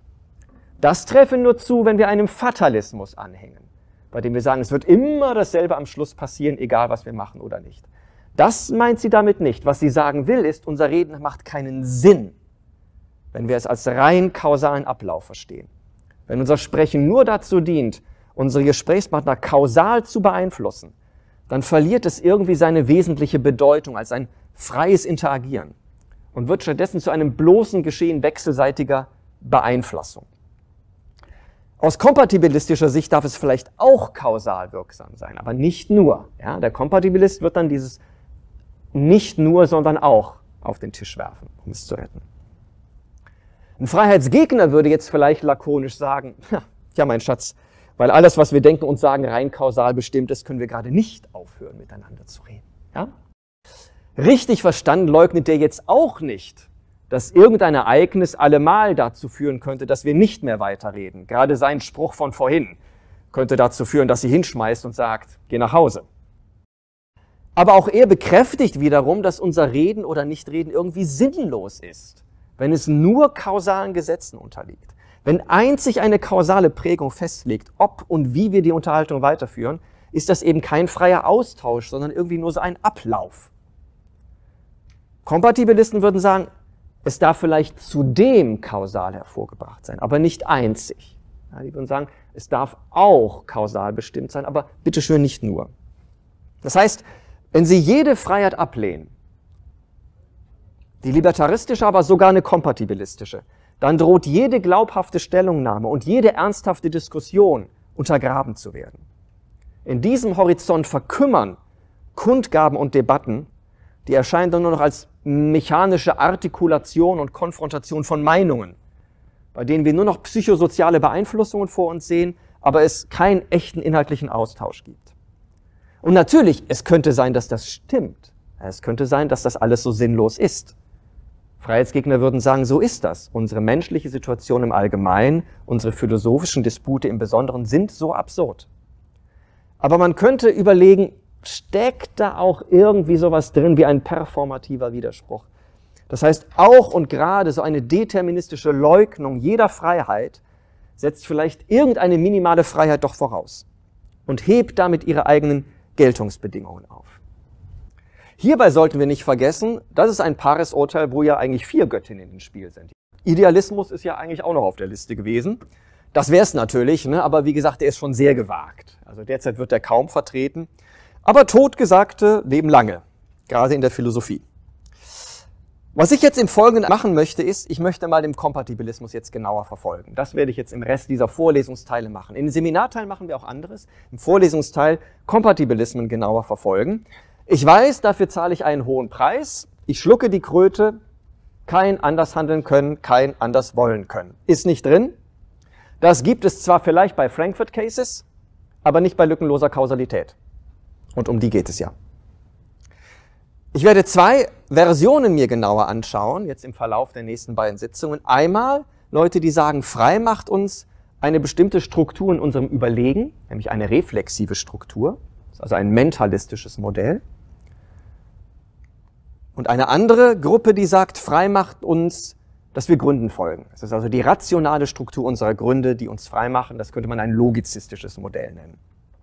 Die werden wir also genauer durchnehmen mit ihren Vor- und Nachteilen. Beide haben einen gewissen Reiz, denn die könnten jetzt den Deterministen seinen performativen Widerspruch attestieren.